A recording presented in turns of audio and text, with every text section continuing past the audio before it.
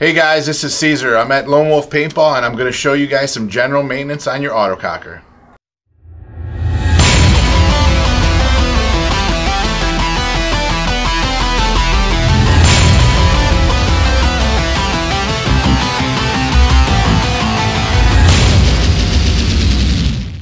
If you guys had the gun sitting for a while and you want to check it, make sure you, first of all, you guys pull your bolt out, you lube the bolt, lightly oil on the Teflon. If you have O-ring, same thing.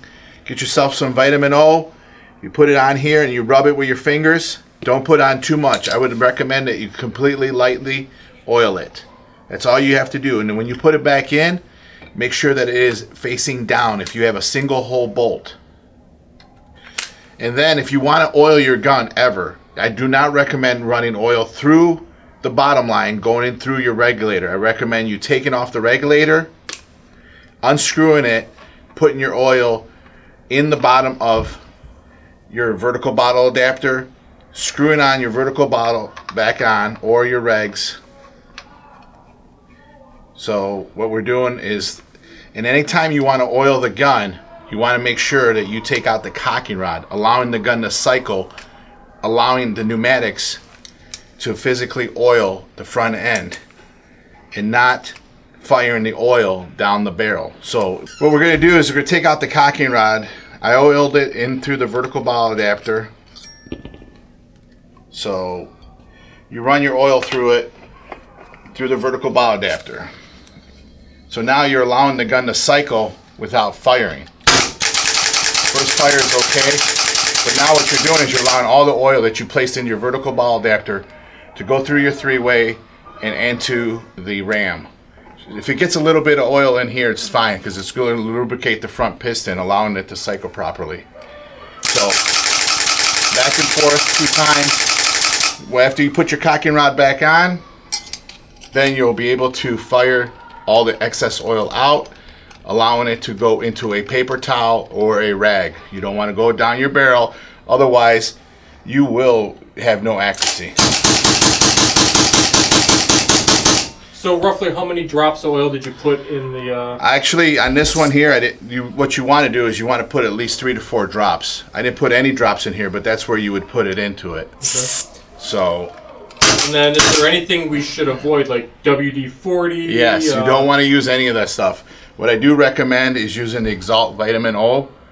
It's really good. It's like a, a high-grade sewing machine oil. It's really thin. It's a great lubricant. And anytime you discharge your gun and you want to take the tank off, unscrew it if you don't have it on-off. Unscrew it while you're firing. And this way you don't have any back pressure. And that's what you do to, you know, before you play and after you play. It keeps your gun well maintained. You get no O-ring dry rot and everything's well lubricated. How long should a set of O-rings last in different areas and is there anything that wears out faster than others?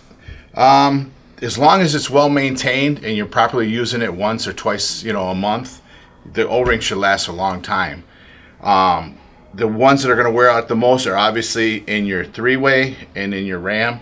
Everything else should be, you know, cycling fine. But from my experience, I've never seen any O-rings go bad, you know, within a few years.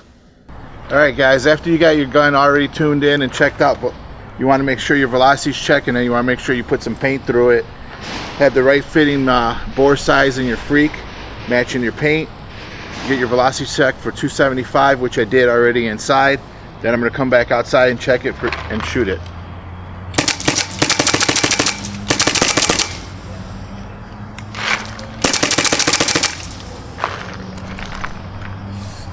And uh, of course, if you need oil O-rings, you can reach out to us at lonewolfpaintball.com.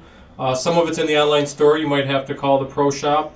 And where do people go if they need maintenance on their auto autococker? If you guys want to get your gun maintained, look us up here at Lone Wolf. Go to Lone Wolf Paintball.